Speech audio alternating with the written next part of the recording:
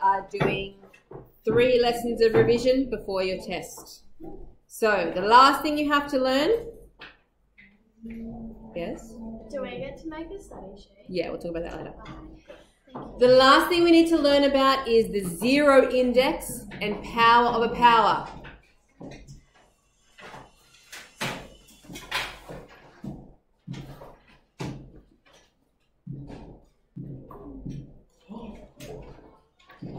Anything to the power of zero is always equal to one. Always. That's this first rule here. Anything, any base to a power of zero is going to be equal to one. Doesn't matter what it is, we'll always equal one. That's your first law for today. The second law we're going to learn about today is when we have brackets and we have powers both inside and outside of those brackets. To expand those brackets out, all you need to do is multiply those powers together. So we have over here m times n. Now it's important that you don't get confused as to when you're multiplying things with the same bases and you add the powers. This one's different. When we have brackets, we multiply the powers. Okay? All right, let's practice.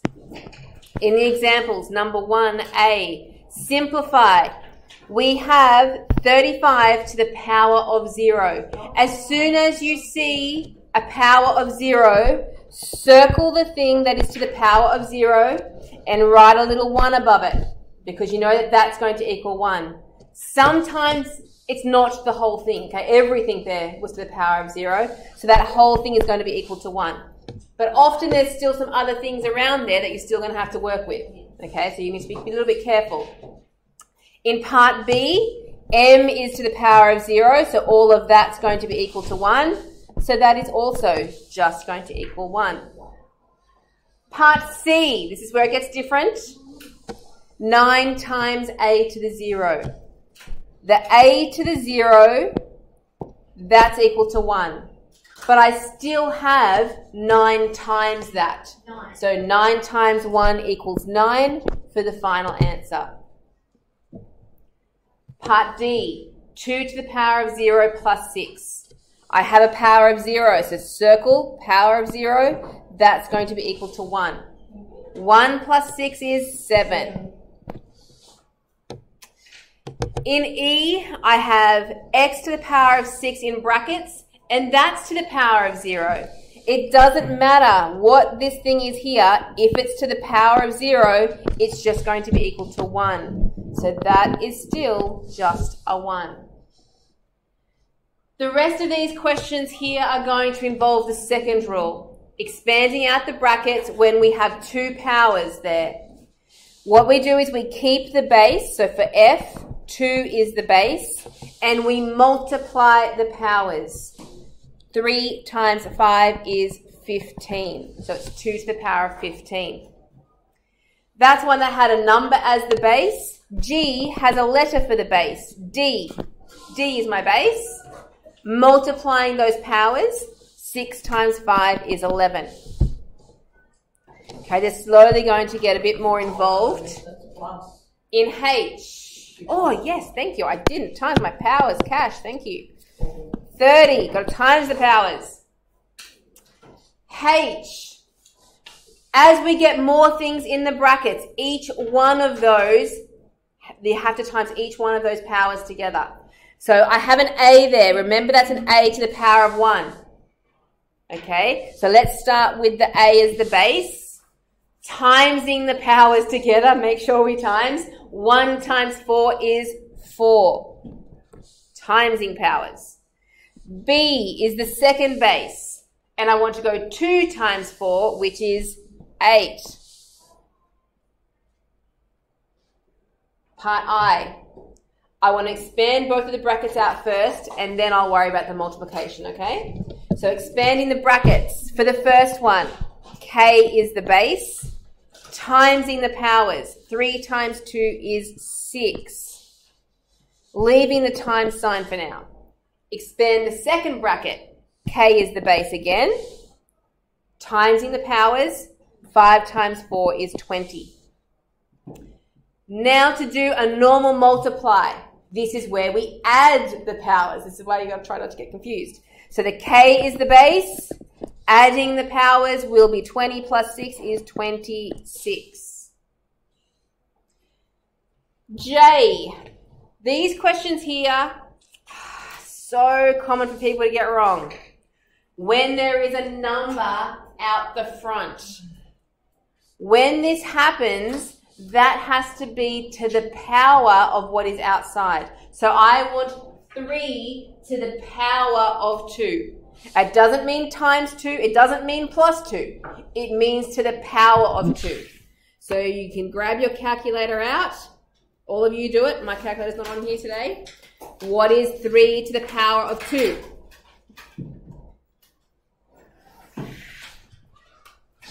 Nine. Nine. Good. So nine. Okay, so you got to remember that one. Tricks a lot of people every year. Three to the power of two for that number out the front. The M, now we're back to normal stuff. We have our normal base there, and we want to multiply those powers. Seven times two is 14. On the next page, we have a couple more. Getting a little bit harder. Like always, expand out your brackets first. So in these ones, we have numbers out the front again. So the 2 to the power of 3. What is 2 to the power of 3? Nine. Mm, Oh, wait, no. Uh, six. Nope. Wait, wait. It's not 2 times 3. It's not 2 plus 3. Nine, nine. Oh, It's nine, 2 nine. to the... Who said? I heard 8. Yes, 8. Good job, Si. 2 to the power of 3 means 2 times 2 times 2. 2 times 2 is 4, times another 2 is 8. Okay, or use the power button on your calculator. You all know where that is? Yeah. Who said no? Joey. Um, No. Oscar, can you show him where the power button is? Or do you not know? I don't know. Cash is showing? Yep. That's not how I do it. and I don't want to speak. It's an X with a little box above it. Got it? Great. All right, let's keep expanding. The next one, X is the base. And we want to times those powers. 4 times 3 is 12. Okay, expanding the second bracket now. Careful with that 3. It is 3 to the power of 2, which is Nine. 9. 3 times 3. That's what power means. So that's a 9. Y is the base. Timesing the powers. 2 times 2 is 4. Then we want to times those together. So 8 times 9 is 72. The, we have x's and we have y's. We don't add the powers for those. You only add the powers if they have the same base. If they have a different base, they just have to sit next to each other. So x to the power of 12 and y to the power of 4. Part L. Expand out the brackets. Each of those big numbers has to be squared. So starting with the 5. 5 squared is not 10. Don't say 10. What's 5 squared? Not 10. 25. Did you say 125? Yeah. Not cubed. That would be cubed. Yeah, yeah. We only want squared. So, Would it be five times five? Yes. Oh, okay. Yes. So that's 25. M is the base times the powers. 3 times 2 is 6. On the bottom, the, the 3 there, we want to do 3 squared. What is 3 squared? Nine. 9, that's right, it's 3 times 3, which is 9. n is the base, and we times the powers. 4 times 2 is 8. Always check if you can simplify. So the 25 and the 9, can I divide by anything there? I can't divide 25 by 3, unfortunately. Mm. So no, we can't simplify that any further. We can't simplify the m's and the n's either because they have different bases. So they're not going to collect up either. So that's it. Question two. This is the fun stuff here. This is the hardest questions that you'll get, all right? So there's just, it just involves multiple steps. That's the only reason that these are harder questions. because You just need to do one step at a time. First step is going to be to expand the brackets. So, on the top, first bracket, I have a 5, and I want to do 5 cubed. Alec, 5 cubed. That's right, your one from before. 125. That means 5 times 5 times 5. Or you find that cube button on your calculator. The x is the base, and we times the powers together. 2 times 3 is 6. Then leave the times sign there, and we're going to expand the second bracket out. I have a 5 to the power of 4. That is a big one. That means 5 times 5 times 5 times 5. Or use the little power button. 625. Yes, 625. X is the base, timesing those powers, 3 times 4 is 12. On the bottom, still more brackets to expand. I have 5 to the power of 3 again, which is 125. Alex, new favourite number. X is the base, times 6 by 3, which is 18. Some noisy people outside. Yeah, especially it's small box. Oh, they're doing push ups. I wonder if they got in trouble for something. Ah, see, they didn't do their homework. Ah, maybe we should. No, anyway. Let's keep going. Yeah, I think I yelling. I'm good, thank you. Oh, you're good thing. You did your homework, so you wouldn't be getting punished anyway. Yeah, yeah. Right. It sounds like they're being beaten. All right, let's keep going. Keep going.